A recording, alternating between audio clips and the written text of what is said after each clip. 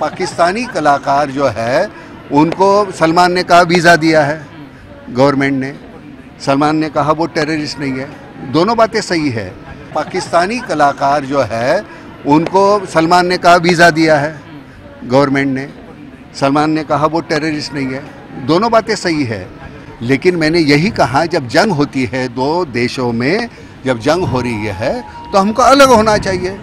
जब जंग नहीं होगी, तब आप तो बाद में वो- पॉलिटिकल डिसीज़न होगा। नहीं?